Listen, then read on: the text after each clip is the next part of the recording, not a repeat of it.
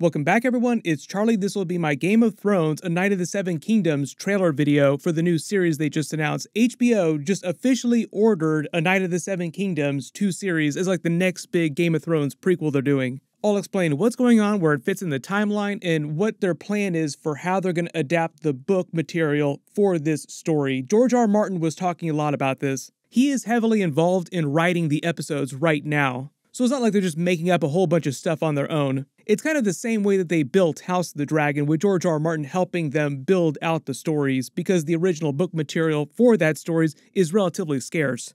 If you're brand new to the channel, be sure to subscribe to get all the videos. Of course, I'll do episode videos for it when it premieres. I'll explain what the timeline is for that too. But if you haven't read the books, A Knight of the Seven Kingdoms is the name for the collected series of novellas about the adventures of Sir Duncan the Tall and Aegon the Fifth Targaryen, affectionately known as the Tales of Dunk and Egg. But George R. R. Martin already said, we're not going to call the show Tales of Dunk and Egg because that would make it sound like a sitcom. Which does sound kind of funny, like HBO doing a Game of Thrones sitcom series.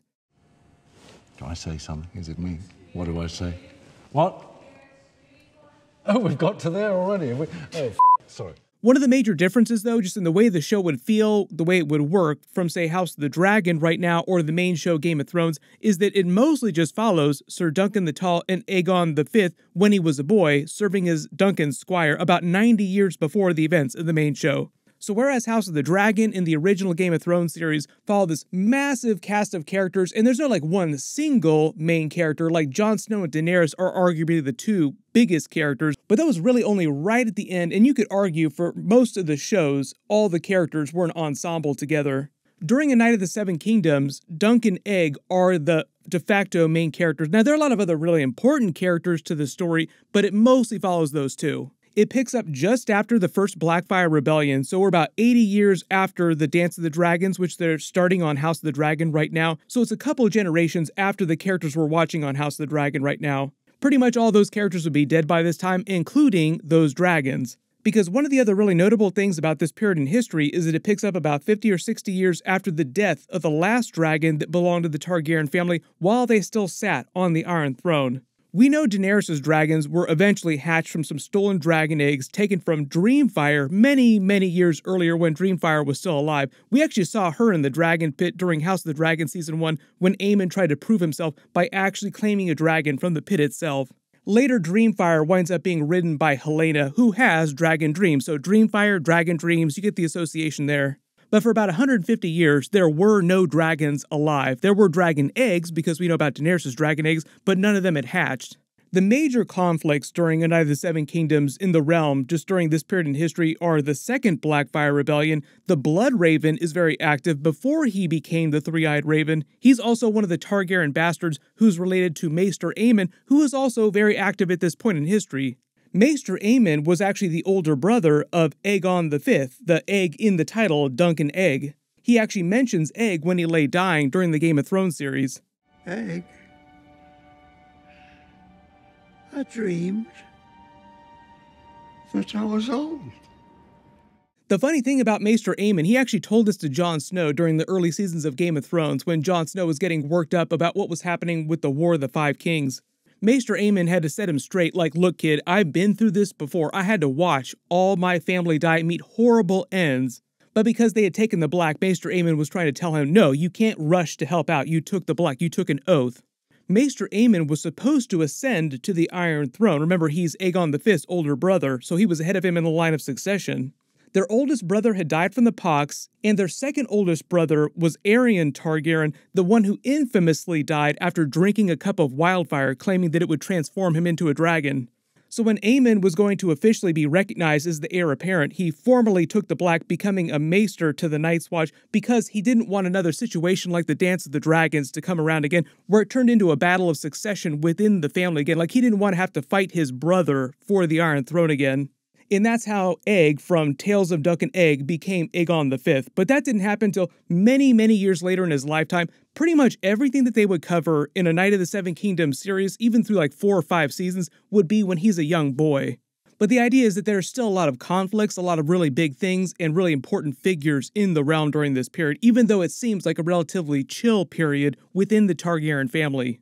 We have the later Blackfyre rebellions, a very young Maester Aemon, like the Chad version of Maester Aemon, the Chad version of the Blood Raven, and the boy, Aegon, who would eventually become Aegon V, ascending to the Iron Throne when he was much older. If they do wind up doing the first Blackfyre Rebellion, they might do that as its own show just because so much happens during that period. You could turn that into like four or five seasons of its own show, but it feels almost just like what they're doing right now with the Dance of the Dragons, which is probably why they're skipping past it. Maybe they'll circle back around or do it in some flashbacks during the upcoming Knight of the Seven Kingdoms series. Like they'll probably refer to it because it's relatively recent after the first Blackfyre Rebellion when the series picks up. Assuming there aren't a bunch of big time jumps during A Knight of the Seven Kingdoms, the first Blackfyre Rebellion was about 15 years before season 1 would begin. That Blackfyre Rebellion started because King Aegon IV sired a ton of bastards, like more bastards than Robert Baratheon did, legitimized a bunch of them, and his favorite one, the most powerful one named Daemon, took the name Blackfyre after he'd been legitimized, the same name as Aegon the Conqueror's Valyrian blade, which had been passed down since Aegon the Conqueror from king to king and was intended to be a sign of right to rule, like each king would eventually pass it to the heir apparent.